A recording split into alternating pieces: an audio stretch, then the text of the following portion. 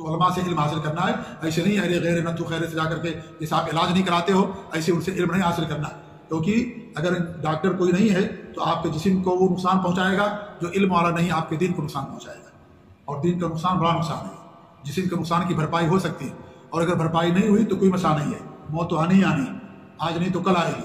लेकिन दिन अगर नुकसान हो गया तो उसकी भरपाई नहीं होगी, उसका खसारा आफरत में आपको समझ में आएगा।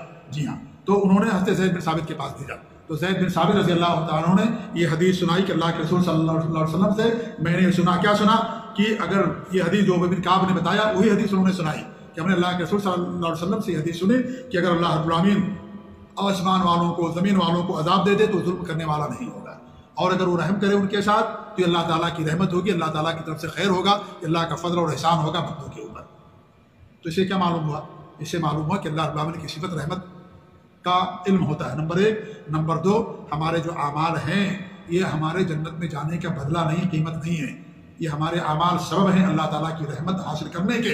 अल्लाह ताला उन्हीं लोगों पर रहमत करेगा जो जिनके पास ये आमाल पाए जाएँगे। जिनके पास नहीं होगा, उनके ऊपर अल्लाह ताला की रहमत नहीं होगी।